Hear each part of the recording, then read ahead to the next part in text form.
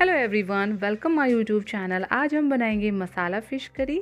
ये खाने में जितनी मज़ेदार होती है, बनाने में उतनी ही आसान है। हम इसे बिना दही के बनाएँगे और अगर आप मेरे बताए हुए तरीके से इस फ़िश करी को बनाएँगे तो हर बार आप इसे बनाना पसंद करेंगे। रेसिपी पसंद आए? तो इसे लाइक शेयर और मेरे चैनल को सब्सक्राइब करिएगा। अब चलिए हम इसे बनाना स्टार्ट करते हैं। यहाँ पर मैं एक किलो फ़िश का इस्तेमाल कर रही हूँ। मैंने इसकी स्किन को निकलवा दिया है। आप जैसा पसंद करते हैं, वैसा ले सकते हैं। मैंने इसमें वन टेबल स्पून आटा और वन टेबल स्पून ऑयल लगाकर दस मिनट के लिए इसे ऐसे ही छोड़ दिया था। उसके बाद मैंने इसे अच्छे से वॉश कर लिया है। ऐसा करने से इसकी फ़िश की स्मेल जो है वो काफ़ी हद तक कम हो जाती है। अब हम इसे मैरिनेट करेंगे। तो मैरिनेट करने के लिए मैं इसमें एक एक चम्मच लहसुन अदरक का पेस्ट डाल दूँगी। एक चम्मच नमक, आधा चम्मच लाल मिर्च पाउडर, आधा चम्मच हल्दी पाउडर, आधा चम्मच हम इसमें डालेंगे गरम मसाला और आधा चम्मच के करीब ही हम इसमें डाल देंगे चाट मसाला। एक नींबू का रस हम इसमें डाल देंगे। दो बड़ा चम्मच भरकर हम इसमें बेसन डालेंगे और इन सबको बढ़िया से हम मछली पर कोट कर देंगे। और कम से कम 20 से 25 मिनट के लिए हम इसको मैरिनेशन के लिए रख देंगे। ऐसा करने से मसाला मछली के पीसेस में अंदर तक चला जाएगा और मछली फीकी नहीं लगेगी। तो मैरिनेट करने से मछली और भी टेस्टी हो जाती है तो इसे आप ज़रूर करिएगा। और अब आप देखिए, मैंने इसको अच्छे से मैरिनेट कर लिया है और इसे हम 20 से 25 मिनट के लिए रख देंगे। अगर आपके पास टाइम नहीं है तो आप इसे हैंड टू हैंड भी बना सकते हैं। और अब हमारा मैरिनेशन कंप्लीट हो गया है तो चलिए हम मछली को फ्राई कर लेते हैं। एक कढ़ाई में मैंने सरसों का तेल लिया है और वन बाय वन हम इसमें मछली के पीसेस को ऐड कर देंगे। और दो मिनट तक बिल्कुल भी हम इसे टच नहीं करेंगे। दो मिनट के बाद हम इसकी साइड को चेंज कर देंगे। और इस साइड से भी हम इसे अच्छे से फ्राई कर लेंगे। तो ये देखिए, मैंने इसके पीसेस को ऐड कर दिया है इसमें। और अब हमारे दो मिनट हो चुका है तो ये फ़िश जो है वो एक साइड से फ्राई हो गई है। तो हम इसके पीसेस को पलट देते हैं। और एक बात का आप ध्यान रखिएगा कि जब आप मछली को फ्राई करें, तब ऑयल बढ़िया से गर्म होना चाहिए और हाई फ्लेम पर ही हम इसे फ्राई करेंगे। अब देखिए, इस साइड से भी दो मिनट हो गए हैं फ्राई करते हुए तो अब आप देख सकते हैं कि हमारी फ़िश जो है वो अच्छे से फ्राई हो गई है। तो चलिए हम इसे बाहर निकाल लेते हैं। आप इसे विदाउट ग्रेवी भी खा सकते हैं, क्योंकि हमने मैरिनेशन के टाइम पे जो मसाला यूज़ किया था, उसकी वजह से ये बहुत ही टेस्टी बनी है।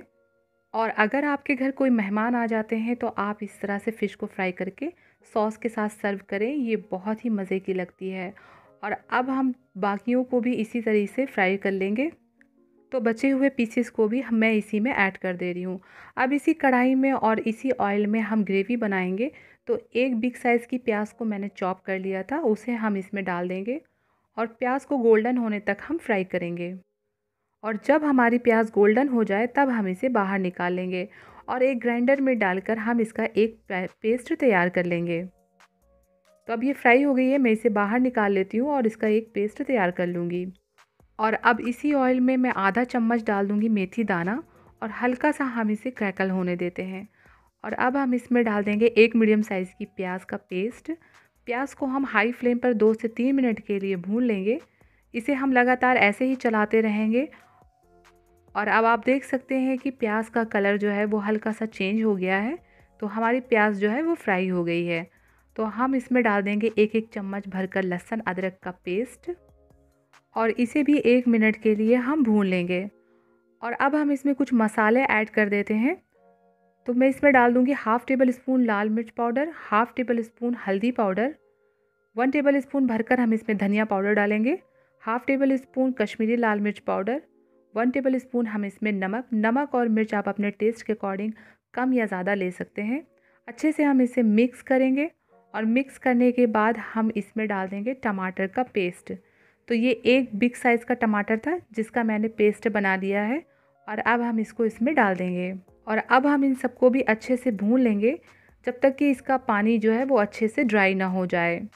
अब हम इसमें डाल देंगे एक चम्मच गरम मसाला और एक चम्मच कस्तूरी मेथी।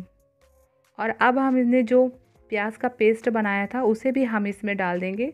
मिक्स करेंगे इसको और दो मिनट के लिए हम इसे भी पका लेंगे। तो एक बार हम इसे अच्छे से मिक्स कर लेते हैं और फ्लेम को हम लो टू मीडियम करेंगे और दो मिनट के लिए हम इसे अच्छे से पका लेंगे। और अब आप देख सकते हैं कि मसाला जो है वो अच्छे से भुन गया है तो अब हम इसमें ग्रेवी के लिए पानी ऐड करेंगे। तो यहाँ पर मैं डेढ़ कप के करीब पानी इसमें डाल रही हूँ। आप ग्रेवी अपने हिसाब से एडजस्ट कर सकते हैं जैसे आपको पसंद हो।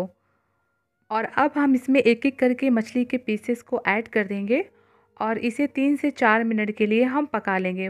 मछली को हमें ज़्यादा नहीं पकाना होता है क्योंकि ये पहले से ही बहुत सॉफ्ट होती है और ज़्यादा पकाएँगे तो इसके पीसेस जो हैं वो टूट जाएँगे। और अब आप देखिए, दो मिनट हो गया है तो अब हम गैस की फ्लेम को ऑफ़ कर देंगे। और अब चलिए हम इसे एक सर्विंग बोल में निकाल लेते हैं। तो ये लीजिए हमारे मसाला फ़िश करी बनकर तैयार है और ये खाने में बहुत ही टेस्टी बनी है और आप इसे एक बार ट्राई ज़रूर करके देखिएगा। इसे बनाना बहुत ही आसान है, बहुत ही सिंपल रेसिपी है ये। बस आपको मेरे बताए हुए स्टेप्स को फॉलो करना है।